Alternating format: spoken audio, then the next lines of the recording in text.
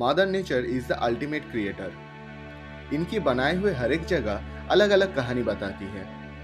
Mystery से बनी इस धरती में कहीं आसमान से ऊँची बर्फ़ की पहाड़ है तो कहीं समुन्दर के नीचे खाई। सूरज की रोशनी ना पहुँचने वाली घनी जंगल है तो कहीं सूखी हुई रेगिस्तान।